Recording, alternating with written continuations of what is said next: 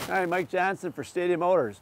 What we have here today is a 2005 Honda Element LX, one owner car with 100 or with 251,000 miles on it. Yeah, imagine that. 2.4 liter automatic front wheel drive vehicle for $49.95. This thing's in spectacular condition. Let's look inside. You've heard me use that word before, but for a vehicle this age with this many miles, you can tell that it's really been taken care of. A lady owned it, original owner, all its life. It's got air conditioning, it's automatic transmission, tilt wheel, power windows, power locks, power mirrors, AM, FM, CD. Got a lot of space in here, center console with a multiple drink holders, you know, little tray on top of the dashboard. This thing's got so many features over, over and above what other vehicles typically have. Now look at the way they made the doors on this. This thing is so roomy with a suicide door like a like a extended cab pickup. You got no dope door post in the way to you getting things in inside it. I'm going to leave those open so you can see. You come around back to the, the cargo area. It's got a regular tailgate.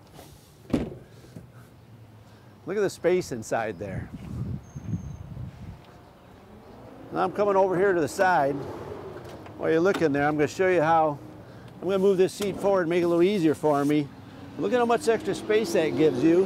And if you want to put this seat down, just, just a matter of dropping it, pulling the lever, and up it goes.